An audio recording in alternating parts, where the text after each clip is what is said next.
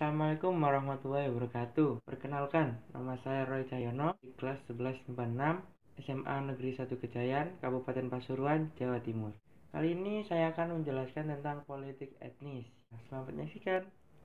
Oke, politik etis adalah politik balas budi kolonial Belanda kepada rakyat Indonesia. Latar belakang pelaksanaan politik etis adalah karena selama penjajah Indonesia, pemerintah kolonial Belanda sudah banyak sekali mendapatkan keuntungan dari bangsa Indonesia. Politik etis diusulkan oleh golongan liberal di parlemen Belanda pada tahun 1890.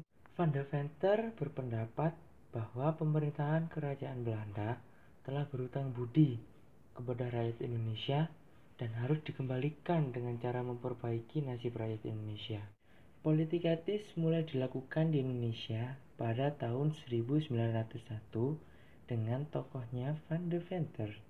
Kebijakan politik etis terdiri dari tiga bidang, yaitu edukasi, irigasi, dan transmigrasi. Yang pertama, edukasi.